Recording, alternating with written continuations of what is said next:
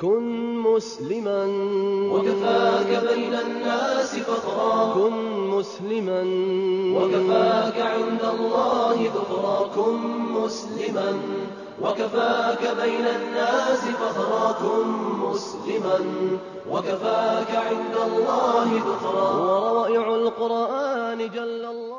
الرابعة آه، تؤخذ من قوله تعالى أو يتوب أو يتوب عليهم. هذا ذلك يشتبك الله توبة أدر ونرى فهذا دليل على أنهم الآن ليسوا على حال مرضية يعني şu an Allah Resulü Aleyhisselatü Vesselam'ın dua ettiği o hal üzerine onlar yani iyi durumda değiller onlar. Yani böyle ölürlerse ceh- cehennemlik onlar.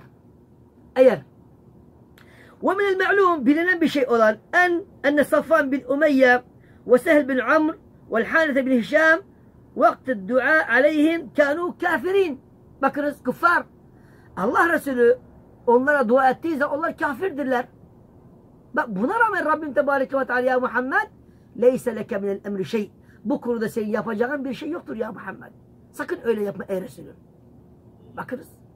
Ezeli ilminde كتب ما يخلق ما ي... كتب ما يخلق ما كان وما يكون إلى يوم القيامة في اللوح المحفوظ Kıyamete kadar olup ve olacak her şey Allah Tebareke ve Teala kim iman edeceğini, kim iman etmeyeceğini, kim İslam'ı e- e- e- seçeceğini, kim Allah'a ortak koşacağını biliyor Rabbim Tebareke ve Teala. Leyse leke minel emri şey'un ya Muhammed diye uyardı. Burada, burada senin yapacağın bir şey yoktur.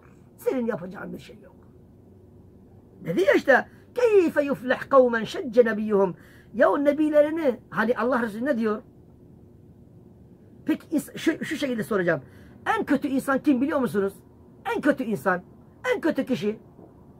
Şimdi diyeceksin ki Allah'a ortak koşmak. Evet bu bir.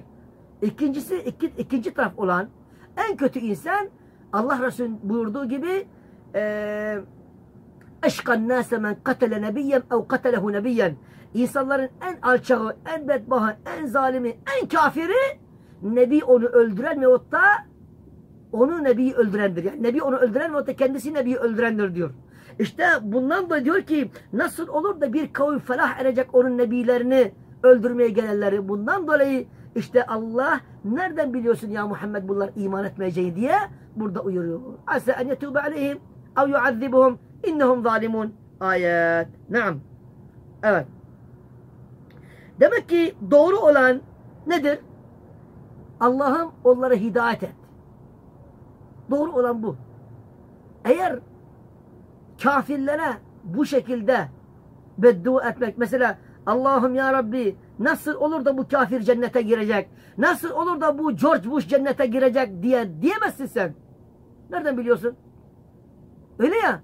Tıpkı hani iki kişi vardı ya bir kişi ne yapıyor? Bir kişi Allah'a kulluk ediyor, kulluk ediyor, kulluk ediyor, kulluk ediyor. Diğeri ne yapıyor? Diğeri içki içiyor, zina yapıyor. Yani her şeyi, bütün kötülüğü yapıyor. Ne dedi o? Ya yeter diyor yeter ya. Seni Allah bile affetmez. Allah Allah yeter ya. Yeter. Beni İsrail'deki olan geçen Allah Resulü bizlere aktarıyor. La yagfirullahu lek diyor. Fearadda Celle Celaluhu Kudsi hadiste Allah Tebareke ve Teala dedi ki men ellezî yeteelle aleyh benim yerime konuşan kimdir diyor Allah.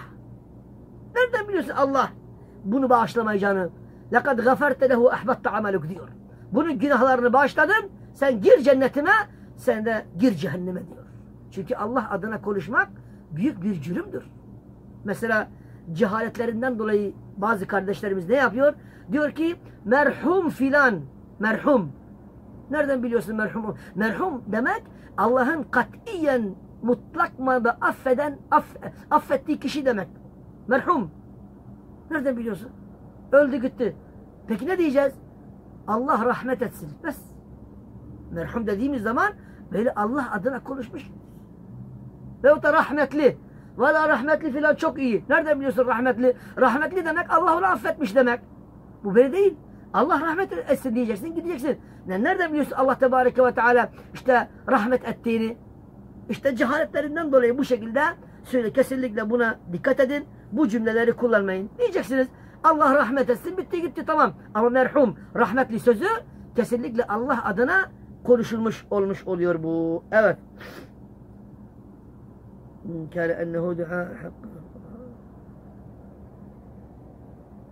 أبد وهذا المسألة أي أن المدعو عليهم كفار ترمي أن الرسول عليه الصلاة والسلام وإن كان يروا أنه دعا عليهم بحق fakat kata'uhu subhanehu ve teala. Bakınız bunlar kafir olmalarına rağmen eğer Allah tebareke ve teala bu şekilde onu Resulü dur, durduruyorsa günümüzdeki olan bazı insanlar nasıl olur da Müslümanlara beddua ediyorlar? Allah filan Ahmet'i lanet etsin. Allah seni cehennemine koysun. Lanet olsun sana. Lanet olsun o seni tanıdığım güne diye lanet ediyor. Lanet ediyor. Ve Allah Resulü bundan sakındırıyor. Sakın ey ümmetim öyle olmayın. Olmayın. Bak Allah Resulü kafirlere bile beddua ettiği Allah onu uyardı. Allah'ım onları hidayet eyle. Allah'ım onları ama zalimleri şu şekilde ya Rabbi onları hidayet eyle. Eğer onlar hidayet etmeyecekse, etmeyecekse onları makus eyle ya Rabbi. Onları bildiğin gibi yap ya Rabbi diyebilirsin. Ama kalkıp kafirler ey Allah'ım sen bunları cehennemine koy. Toplu bir şekilde kafirleri beddua etmek işte bu doğru değil. Çünkü ama zalimleri zalim olan Müslümanları öldürmeye gelenleri ilk önce nedir? Allah'ım onları hidayet et. Çünkü İslam dinin güzelliğinden birisi budur. İslam dinin güzelliğinin birisi budur. Çünkü İslam dini rahmet dinidir. İslam dini kurtuluş dinidir. İslam dini selamet dinidir. İslam dini barış dinidir. İslam dini kucaklama dinidir. Ondan dolayı Allah'ım onları yani e, hidayet eyle ya Rabbi. Eğer zalimler hidayet olmayacaksa onları makus eyle ya Rabbi demekten bir sakıncası yoktur. Ama ilk önce hidayetle emrolunduk ki Allah Resulü kafirlere bu şekilde deyince leyse leke minel emri şey'un ya Muhammed diyor Allah Tebareke ve Teala. Ya. Evet. İşte İslam dinin özelliği bu işte.